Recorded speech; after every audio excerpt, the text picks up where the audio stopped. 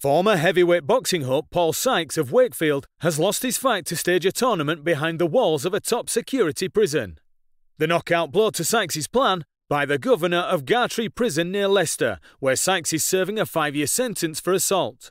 Sykes, who was beaten in the fourth round of a British heavyweight title fight by John L. Gardner in 1979, wanted to raise money for the International Year of Disabled People. He hoped to get some of his old boxing friends together for a contest to be watched by fellow prison inmates and prison officers.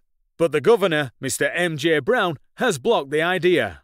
Deputy Governor Mr. John Clark said today Sykes made an approach to the governor, but the governor does not want prisoners taking part in boxing matches. The idea has not been approved. Mr. Clark said he understood Sykes wanted to take part in the tournament himself. He added, We have had other sporting activities such as visiting football and weightlifting teams inside the prison, but we have never had any boxers. Sykes' wife Wendy said today, Paul will be disappointed, but I think he will keep trying as he always did in the ring.